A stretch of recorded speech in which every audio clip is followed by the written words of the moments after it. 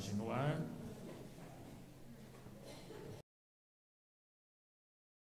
Boa noite, senhores vereadores, funcionários da casa, aos que nos acompanham aqui no plenário, aos internautas e ouvintes da Rádio Jovem Pan de Rio Claro.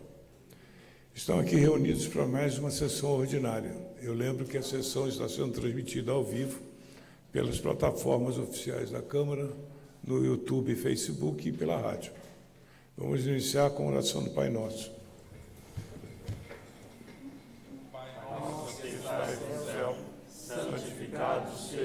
Vosso nome. Venha a nós o vosso reino. Seja feita a vossa vontade, assim na terra como no céu. O pão nosso de cada dia nos dai hoje. Perdoai as nossas ofensas, assim como nós perdoamos a quem nos tem ofendido. E não nos deixeis cair em tentação, mas livrai-nos do mal. Amém. Solicito ao senhor primeiro secretário a chamada nominal dos vereadores. Alain Felipe Bastelli, Presente. Cleiton Santos Barros, Presente. Luiz Aparecido Basso. presente. Luiz Guilherme Paiuta Miranda, Presente. Marcelo Ferreira da Silva, Presente. Sivaldo Elias, Presente. Vanderlei Francisco do Couto, Presente. Washington Luiz Pereira Presente. e William José Bento. Presente. Senhor presidente, nove vereadores presentes e nenhum vereador ausente. Obrigado, Luiz. Havendo número legal sob proteção de Deus, às 19 horas, declaro aberta a sessão do dia 1 de abril. Em discussão e votação, ata da sessão ordinária do dia 18 de março e extraordinária do dia 21 de março. Se todos estão de acordo, a ata está aprovada. Está aberto o expediente. Solicito a leitura das matérias em pauta. Por favor, senhor primeiro secretário, pode começar. Moção número 17 de 2024, de autoria do vereador Luiz Aparecido Basso. Moção de parabéns, aplauso reconhecimento à diretora, professora Fernanda Maria Martins de Freitas, pelos relevantes serviços prestados em nosso município. Moção 18 de 2024, de autoria do vereador Luiz Aparecido Basso. Moção de parabéns, aplauso e reconhecimento à diretora, professora Cristiane Iamonte Ribeiro, pelos relevantes serviços prestados em nosso município. Moção número 19 de 2024, de autoria do vereador Luiz Aparecido Basso. Moção de parabéns, aplauso e reconhecimento à diretora, professora Simone Aparecida Diniz Vaz Pinto, Delmiro, pelos relevantes serviços prestados no nosso município. Moção número 20 de 2024, de autoria do vereador Luiz Aparecido Basso. Moção de parabéns, aplauso e reconhecimento à diretora, professora Priscila Adriana Massaferro Barrenha, pelos relevantes serviços prestados em nosso município. Moção número 21 de 2024, de autoria do vereador Luiz Aparecido Basso. Moção de parabéns, aplauso e reconhecimento à diretora, professora Angélica Cristina de Freitas Sabadim, pelos relevantes serviços prestados em nosso município. Moção número 22 de 2024, de autoria do vereador Luiz Aparecido Basso. Moção de parabéns, aplauso e reconhecimento à diretora, professora Amanda Érica Domingos Martins, pelos relevantes serviços prestados em nosso município. Moção 23 de 2024, de autoria do vereador Vanderlei Francisco do Couto.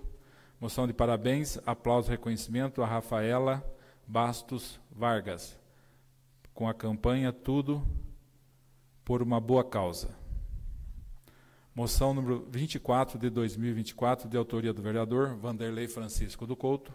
Moção de parabéns, aplauso e reconhecimento a Keila Ferreira, com a campanha Tudo por uma Boa Causa. Moção número 25 de 2024, de autoria do vereador Vanderlei Francisco do Couto. Moção de parabéns, aplauso e reconhecimento a Marilene Comissário de Oliveira, com a campanha Tudo por uma Boa Causa. Moção número 26 de 2024, de autoria do vereador Vanderlei Francisco do Couto. É, moção de parabéns, aplauso e reconhecimento a Maria Silvia Bilato, com a campanha Tudo por uma Boa Causa. Moção número 27 de 2024, de autoria do vereador Vanderlei Francisco do Couto. Moção de parabéns, aplauso e reconhecimento a Maria Helena Nery dos Santos Pereira, com a campanha Tudo por uma Boa Causa. Moção número 28 de 2024, de autoria do vereador Vanderlei Francisco do Couto. Moção de parabéns, aplauso e reconhecimento a Elismar Rodrigo Bittencourt, com a campanha Tudo por uma Boa Causa. Moção número 29 de 2024, de autoria do vereador Vanderlei Francisco do Couto. Moção de parabéns, aplauso e reconhecimento a Clemilda Pereira Correia de Oliveira, com a campanha Tudo por uma Boa Causa. Moção número 30 de 2024, de autoria do vereador Vanderlei Francisco do Couto. Moção de parabéns, aplauso e reconhecimento a Vilma Cristina Meneghelli Souza, com a campanha Tudo por uma Boa Causa. Moção número 31 de 2024, de autoria do vereador Vanderlei Francisco do Couto. Moção de parabéns, aplauso e reconhecimento a Vera Lúcia Pereira de Oliveira, com a campanha Tudo por uma Boa Causa. Moção número 32 de 2024, de autoria do vereador Sivaldo Elias. Moção de parabéns, aplauso e reconhecimento a Júlia Genari Desotti, elevando assim, através do seu profissionalismo, empenho e dedicação, como atriz o nome do município de Santa Gertrudes a nível nacional. Requerimento número 14 de 2024, de autoria do vereador Cleiton Santos Barros. Considerando que temos um problema antigo no município, porém não podemos esperar algo acontecer, a rodovia Constante Peruche, pela grande movimentação, sem acesso aos munícipes do bairro Jardim Pesa ao bairro Jardim Parque Industrial, Considerando que em qualquer horário o movimento é intenso, mas os horários de pico fica impossível atravessar, os adultos e idosos ainda correm o risco de atravessarem correndo, as mães com seus filhos, que estudam no outro bairro e que precisam atravessar. Ficam sem ter o que fazer e correm o risco, considerando que o bairro Jardim IP precisa atravessar pela rodovia para o Jardim Parque Industrial, devido à necessidade de irem a supermercados, igrejas, farmácias, policlínica, levar criança na escola e creche. Considerando que nossos munícipes têm que sair muito tempo antes de suas casas e ainda assim correndo o risco de acidentes, requerendo ao senhor prefeito municipal entrar em contato com o DR, Departamento de Estrada de Rodagem, para que estude uma solução urgente para o local citado, tais como lombadas eletrônicas e construção de uma passarela. Indicação número 105 de 2023, de autoria do vereador Cleiton Santos Barros. Indicando juntamente ao departamento competente que estude a possibilidade de se instalar um mastro, um poste, no campo de areia do lago Rui Rafael da Rocha, para a prática de vôlei de areia. Indicação 106 de 2023, de autoria do vereador Luiz Aparecido Basso indicando para adquirir um local adequado para abrigar moradores de rua, bem como a contratação de profissional especializado para tratamento de, para dependentes químicos e de álcool. Indicação número 107 de 2023, de autoria do vereador Luiz Aparecido Basso, indicando através do departamento competente, com a máxima urgência possível, as tratativas necessárias para a realização do feirão de emprego, em parceria com as PACER. Indicação número 108 de 2023, de autoria do vereador Cleiton Santos Barros, indicando juntamente com o departamento competente que estude a possibilidade de que seja realizado pintura de faixa de pedestres nas esquinas da Avenida 7. Indicação número 109 de 2023, de autoria do vereador Washington Luiz Pereira, para que no momento oportuno seja viabilizada a concessão de área institucional em algum novo loteamento para a construção de uma clínica de reabilitação a ser administrada em parceria com o Conselho de Pastores. Haja visto o trabalho que já é realizado por vários pastores do nosso município. Indicação número 110 de 2023, de autoria do vereador Cleiton Santos Barros. Indicando a possibilidade de enviar a esta Casa de Lei projeto de lei dispondo sobre o PDV, Programa de Desligamento Voluntário, por parte dos servidores públicos municipais. Indicação número 111 de 2023, de autoria do vereador Luiz Aparecido Basso, indicando os estudos necessários que viabilizem com a máxima urgência possível a montagem do espaço adequado para a criação de um núcleo de recreação para a permanência de crianças fora da faixa de atendimento das creches. Indicação número 112 de 2023, de autoria do vereador Luiz Guilherme Paiuta Miranda, indicando à Secretaria Municipal de Obras que possa ser implantado instalação de iluminação entre a rua Vitorino, entre a rua Vitório Gasparini, no bairro Jequitibá 2, interligando a rua Alair Batista de Oliveira com a rua Antônio Doimino, com a rua Anodina Chamon da Silva. Indicação número 113 de 2023, de autoria do vereador Luiz Guilherme Paiuta Miranda, indicando a Secretaria Municipal de Obra que realiza a implantação de iluminação e calçada na área verde da Avenida João Vitor, no Parque do Jequitibás.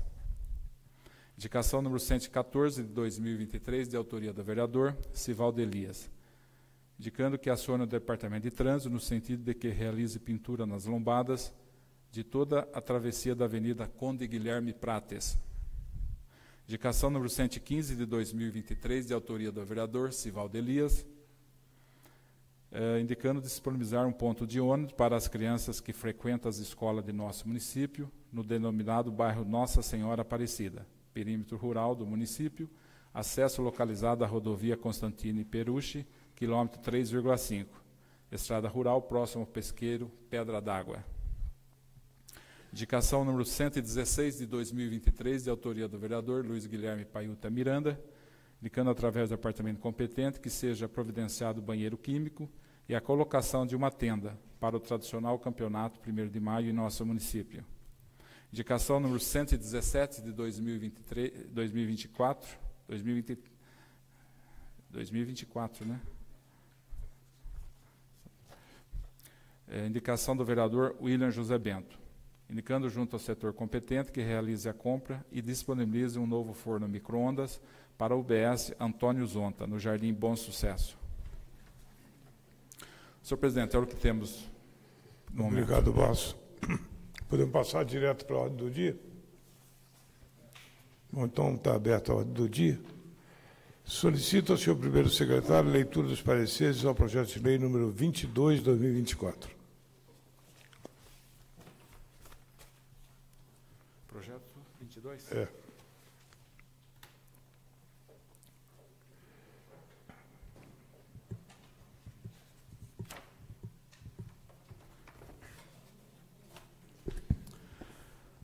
Projeto de lei número 22 de 2024, de autoria do vereador Alain Felipe Bastelli, institui a Semana Municipal de Promoção da Cultura de Paz, Respeito Mútuo, Igualdade de Gênero e Prevenção de Violências no âmbito municipal. Parecer da Procuradoria Jurídica. Parecer por sua legalidade. Parecer da Comissão de Constituição, Justiça e Redação. Parecer pela aprovação do projeto.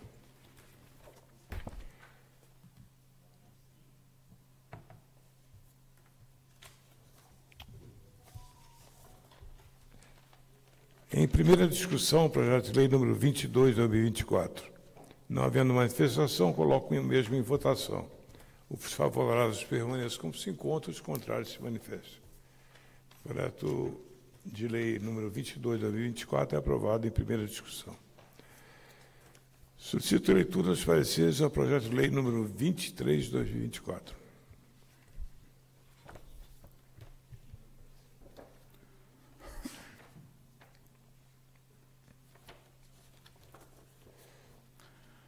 Projeto de lei número 23 de 2024, de autoria do senhor prefeito municipal, concede recomposição salarial e reajuste no Vale Alimentação aos servidores públicos municipais.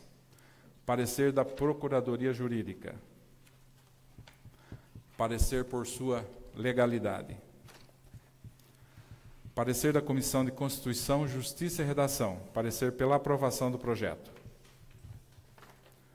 Parecer da Comissão de Orçamento, Finança, Controle dos Gastos Públicos e Contabilidade Parecer pela aprovação do projeto. É, esse projeto é um projeto polêmico que trouxe muita gente aqui para o plenário hoje. É um projeto que está sendo discutido entre nós várias vezes. É, infelizmente, o dissídio é em abril, e abril é ano, começa o ano eleitoral. Então, o limite é, jurídico de plausível para ser feito é esse 4.62. conversando com o prefeito, o prefeito me disse que a intenção dele era dar um aumento de 13,5. E, infelizmente, como foi nos outros anos anteriores, infelizmente ele não vai poder fazer isso. Consultou jurídico em vários locais e fez vários aprimoramentos das coisas e não conseguiu sucesso. Então, é, existe, depois da água passando, a gente pode correr atrás da água e tentar puxar com o outro.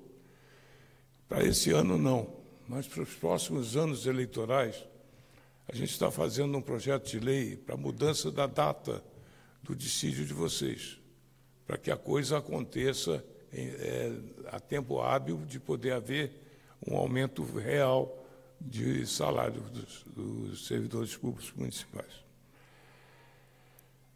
Então, em discussão única, projeto de lei número 23 de 2024. Não havendo manifestação, senhor, senhor concede a palavra, coloco em votação. Ou não?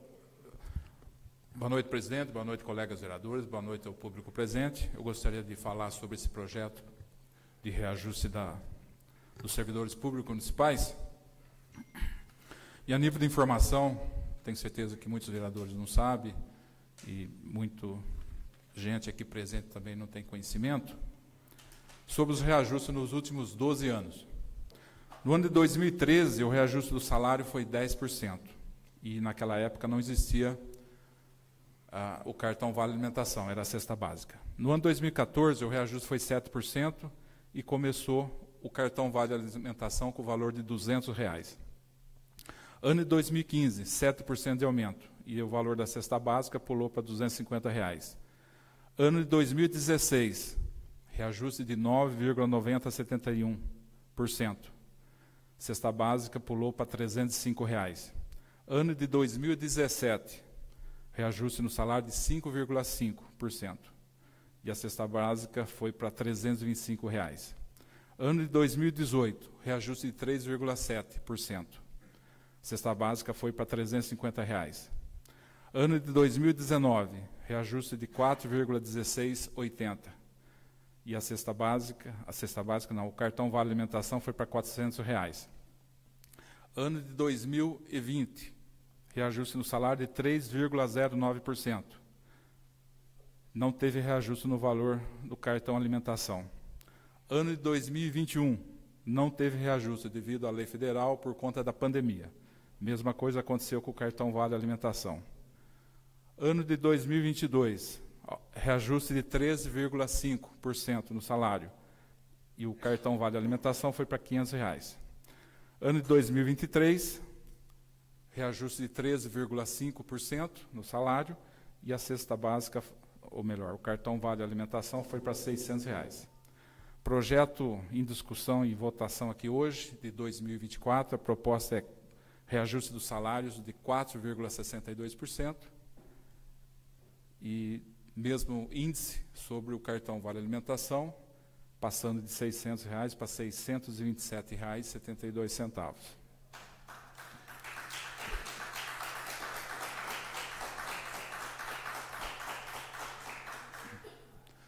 Apresentei a indicação, dia 6 de março, a indicação número 96, solicitando ao seu prefeito municipal um reajuste de 20% sobre os salários dos funcionários.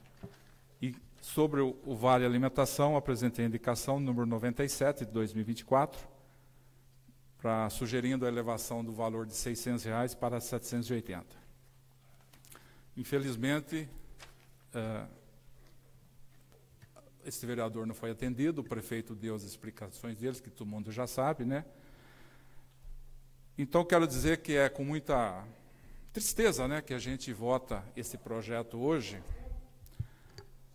porque eu tenho certeza que qualquer vereador aqui queria votar um, um reajuste de 20%, de 30%, de 40%. Isso é a vontade, com certeza, de todos os vereadores nessa Casa de Lei. Não é? Estou falando mentira? Não. Então, segundo, segundo o entendimento jurídico desta Câmara Municipal, se o projeto de lei for reprovado hoje, o prefeito não vai poder conceder esse reajuste, que é a inflação de 4,62%.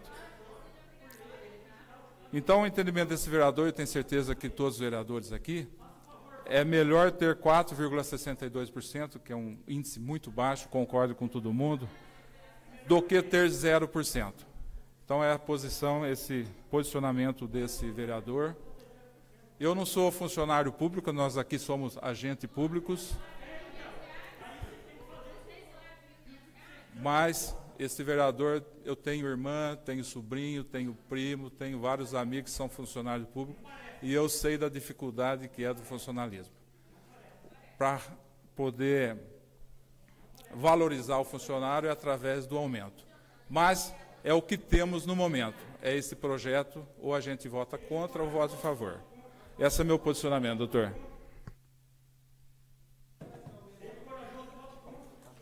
Acho o seguinte, a, a prefeitura tem quase mil funcionários. Quantos, quantos funcionários tem aqui hoje? Eu quero, eu quero saber se vocês representam a totalidade. Eu tenho certeza que a maioria prefere ter 4,62 do que zero.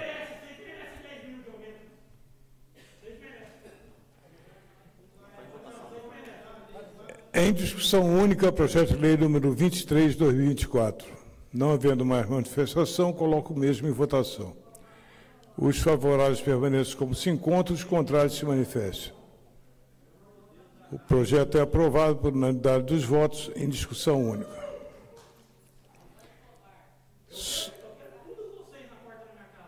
Solicita a leitura dos pareceres ao projeto de lei número 24, 2024.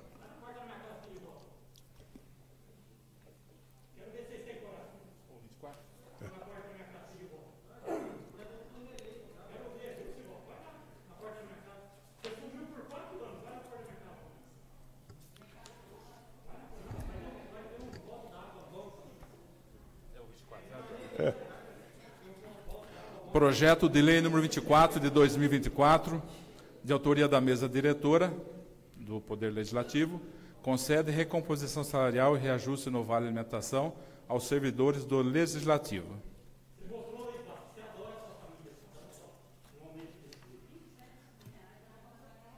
Parecer da Procuradoria Jurídica, parecer pela legalidade. Parecer da Comissão de Constituição, Justiça e Redação, Parecer pela aprovação do projeto. Parecer da Comissão de Orçamento, Finança, Controle dos Gastos Públicos e Contabilidade. Parecer pela aprovação do projeto. Em discussão única, projeto de lei número 24, 2024. Não havendo manifestação, coloco em votação. Os favoráveis permanecem como se encontram, os contrários se manifestam. O projeto é aprovado por unanimidade dos votos em discussão única. Solicito a leitura dos pareceres ao projeto de lei número 25 de 2024. Projeto de lei número 25 de 2024, de autoria do senhor prefeito municipal, altera dispositivos da lei financeira do município de Santa Gertrude e abre o caso especial.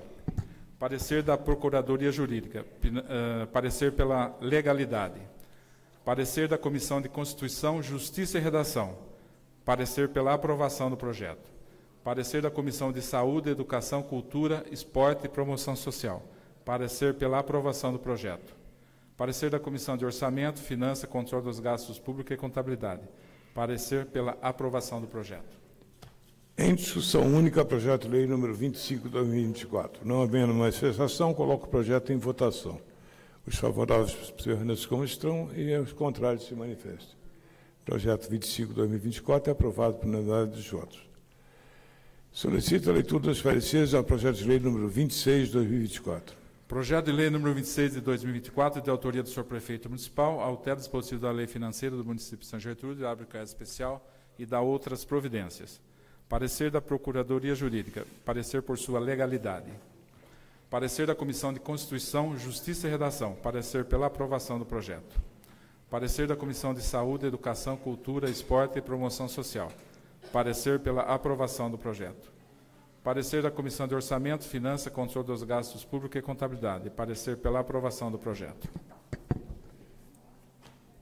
O projeto, o projeto de lei número 26 de 2024, é, em discussão única, está colocado em votação. Aqueles que quiserem se pronunciar, se pronunciem, aqueles contrários se manifestem. O projeto é aprovado por unanimidade dos votos em discussão única.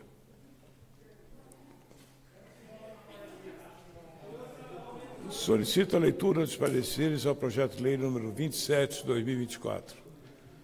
Projeto de lei número 27 de 2024, de autoria do senhor prefeito municipal, altera dispositivo da lei financeira do município de Santa Gertrudes, abre crédito especial e dá outras providências. É, parecer da Procuradoria Jurídica, parecer por sua legalidade. Parecer da Comissão de Constituição, Justiça e Redação, parecer pela aprovação do projeto. Parecer da Comissão de Saúde, Educação, Cultura, Esporte e Promoção Social. Parecer pela aprovação do projeto. Parecer da Comissão de Orçamento, Finança, Controle dos Gastos Públicos e Contabilidade. Parecer pela aprovação do projeto. Em discussão única, projeto de lei número 27 de 2024. Não havendo manifestação, colocam em votação. Os favoráveis permanecem como se encontram, os contrários se manifestam. O projeto é aprovado por unidade dos votos em discussão única. Em votação única, moções 17 a 32, requerimento 14 de 2024. Os favoráveis permanecem como se encontram, os contrários se manifestam.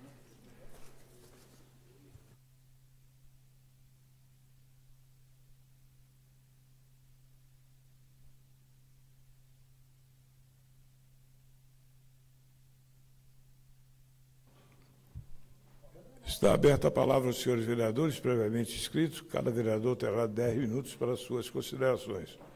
Ou a parte poderá ser concedido desde que o assunto seja inerente e não será acrescido no seu tempo.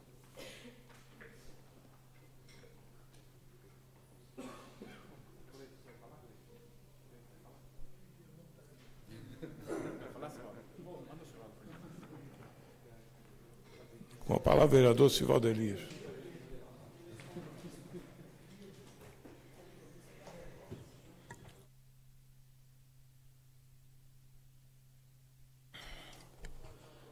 Boa noite, senhor presidente, nobres vereadores, público que nos assiste, Facebook, YouTube. Na pessoa do nosso querido Carlinho, cumprimento todo o público presente. Senhor presidente, vou falar rapidinho aqui de duas indicações minhas. É, e desde já agradecer os nobres colegas aí que aprovaram. Né?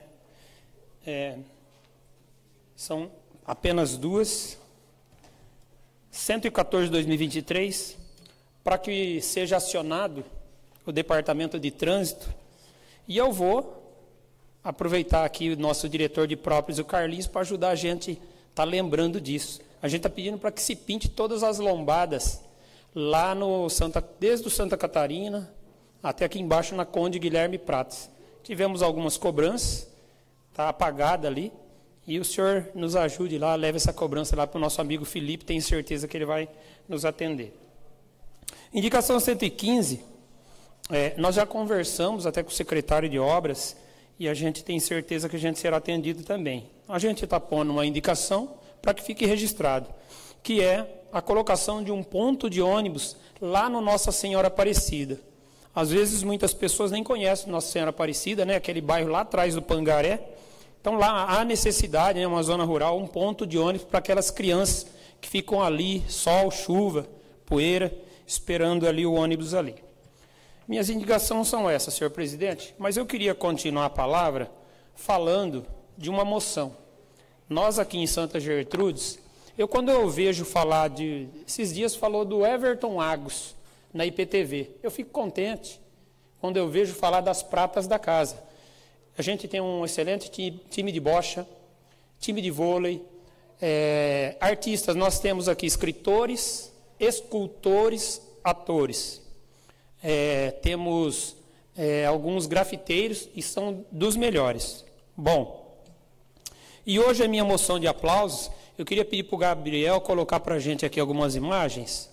E eu vou ler um texto aqui sobre um texto sobre é, a Júlia Denari Desotti.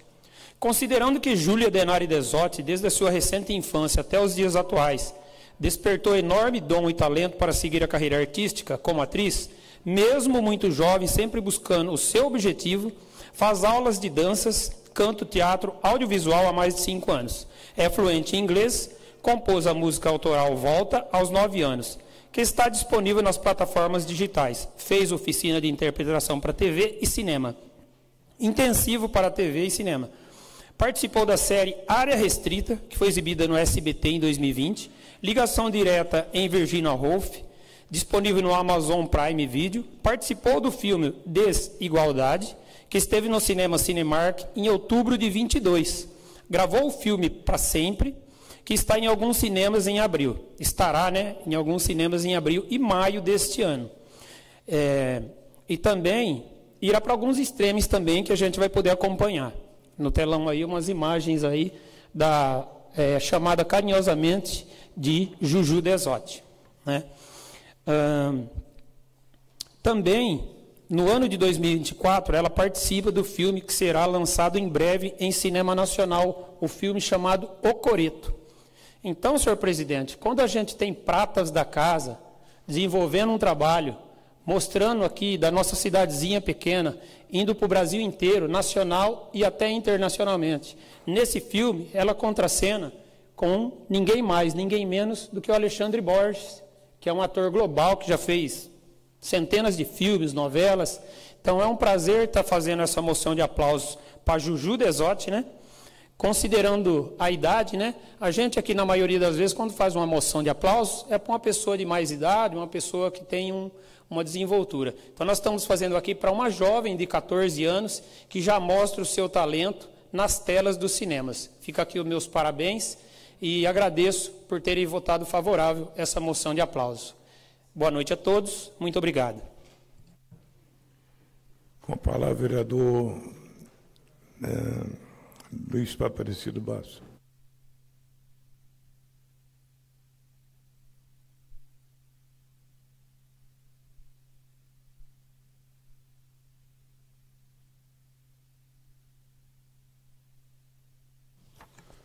Boa noite, presidente. Boa noite, colegas vereadores. Quero comentar a imprensa, cumprimentar o amigo ex-vereador Carlinhos, cumprimentar o amigo Marcos, suplente do nosso partido PL. Em nome do amigo pastor Albertino, quero cumprimentar todo o público presente. Cumprimento todos os colaboradores e cumprimento todos aqueles que nos acompanham através da rádio e também através das redes sociais. Quero parabenizar todas as proposituras apresentadas pelos colegas nessa noite. Quero agradecer pela aprovação das minhas moções, das minhas indicações. Quero parabenizar o colega Sivaldo pela moção de parabéns à prova de conhecimento, a jovem Júlia Genari Desotti, filha do nosso amigo Luiz Desotti, família raiz aqui de Santa Gertrudes, e essa menina, essa moça, né, de pouca idade, eh, levando o nome de Santa Gertrudes a nível nacional. Isso é muito bacana para a gente que conhece desde os seus avós e é raiz de Santa Gertrudes. Parabéns, viu, Sivaldo, pela sua moção.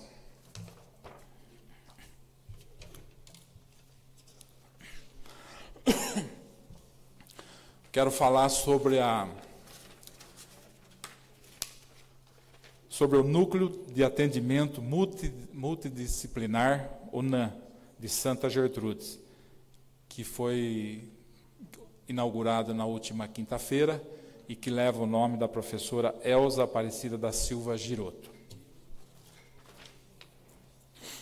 No dia 26 de abril de 2021, apresentei a indicação número 357 de 2021, no qual este vereador sugeriu ao senhor prefeito municipal, quando tivesse uma oportunidade de um logrador público ou um próprio municipal estar denominando de professora Elza Aparecida da Silva Giroto.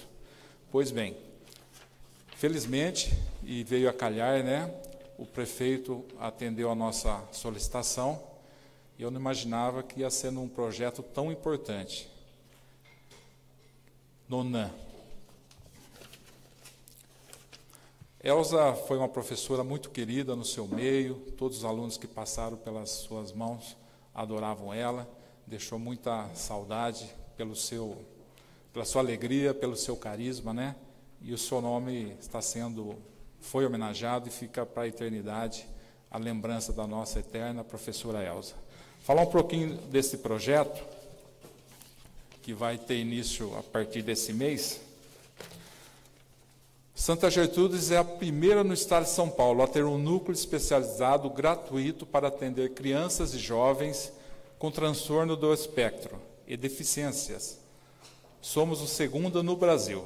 Então, segundo informação do senhor prefeito municipal. Santa Gertrude é a segunda cidade no Brasil que tem uma, uma escola direcionada a esse tipo de crianças, né? E a primeira no estado de São Paulo. O Núcleo de Atendimento Multidisciplinar, ONAM, denominado de professora Elza Aparecida da Silva Giroto, vai atender 80 crianças que possuem laudo de transtorno do espectro autista ou crianças com deficiência, síndrome de Down, paralisia cerebral, deficiência física e faz parte da rede municipal de ensino. A inauguração aconteceu no último dia 28, última quinta-feira. Cada criança irá passar por uma análise com os especialistas e após essa sondagem, serão direcionadas a quantidade e as terapias específicas para cada caso. O NAM possui os seguintes profissionais: fonoaudiólogo, psicopedagogo, terapeuta ocupacional, psicomotricista, fisioterapia e atendimento ABA. É o método que busca promover o desenvolvimento em áreas-chave, como linguagem, habilidades sociais, autonomia pessoal e comportamentos adaptativos. Então, com isso, eu quero deixar aqui registrado meus parabéns ao prefeito municipal por criar esse projeto tão importante para nossas crianças com problema de autismo e outros problemas especiais, né? E, e também não podia esquecer da nossa secretária de Educação, é, votos esse extensivo a toda a equipe da educação que não mediu esforço, juntamente com o prefeito, para colocar esse excelente e belo projeto em prática é, é o prefeito dando mostras aí que olha com carinho as nossas crianças do município, em especial aquelas que mais precisam, as crianças com problema necessitam de cuidados especiais. Então, senhor presidente, eu peço à nossa secretaria que envie ao seu prefeito municipal um ofício de agradecimento e de parabéns e também à nossa secretária de Educação, a Marina Lima Catai, voto extensivo a toda a sua equipe de trabalho. Obrigado, presidente. Boa noite a todos aqui presentes. E boa noite a você que nos acompanha através da rádio e também das redes sociais. Deus abençoe. Encerrados os trabalhos dessa noite, obrigado a vocês que nos acompanharam e convoco sessão ordinária para o dia 8 de abril, às 19 horas. Convido o vereador Vanderlei a fazer a oração final. Amantíssimo Deus, eterno Pai, neste momento, Jesus querido, mais uma vez nós te agradecemos por tudo, Senhor. Obrigado, Senhor, por mais um dia, meu Pai, onde o Senhor nos concedeu o fôlego de vida, meu Pai. Sua gratidão a Ti, Senhor. Agora leva-nos nos para nossos lares, Senhor, com total segurança. Ó Deus, abençoa a nossa cidade, continua abençoando, colocando anjos, meu Deus e meu Pai, na entrada dessa cidade para abençoar e nos proteger de todo mal. É o que nós te pedimos e te agradecemos no nome do Senhor Jesus. Amém.